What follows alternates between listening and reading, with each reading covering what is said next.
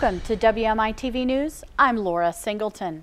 This news is being driven to you by Horn Auto Center, the Chevy store that saves you more. Two free roaming horses were found dead late last week off Forest Service Roads 51 and 50 in the Apache Sitgreaves National Forest. The horses appear to have been shot, but that information has not been confirmed by the Apache Sitgreaves National Forest representatives.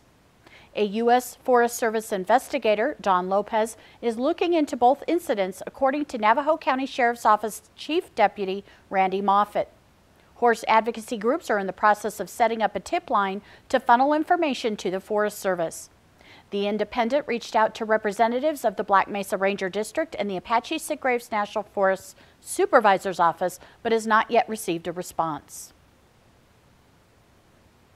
Fall is proving to be just as busy as summer in the White Mountains, with events taking place from Thursday through Sunday. The first ever Balloon Festival took place on Friday and Saturday, bringing crowds to Mountain Meadow Park in excess of 2,000 people. The inaugural event of the Show Low White Mountains Arizona Film Fest took place Thursday through Sunday at the Village 8 Theater in Pinetop. Events included classes, workshops, visiting actors, and even a presentation by Matthew Earl Jones, director of the Arizona Office of the Film and Digital Media.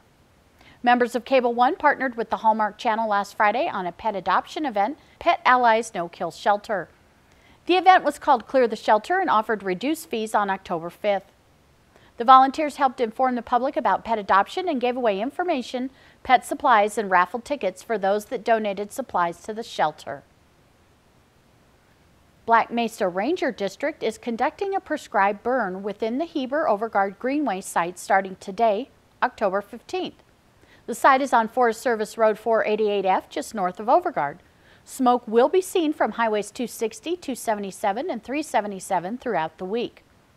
The brush pit will be closed to the public for one to two weeks for the safety and welfare of the general public.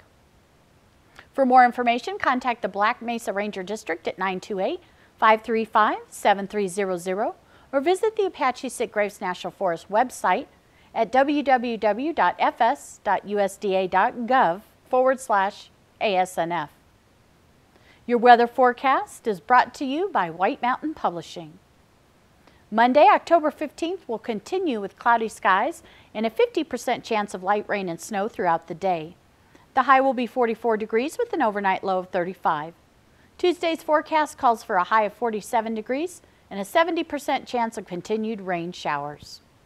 More details on any of the news you've heard today can be found on our website, our Facebook page, or the print edition of your Tuesday or Friday Independent. And remember, Today's news was driven to you by Horn Auto Center, the Chevy store that saves you more. Thank you for watching. I'm Laura Singleton.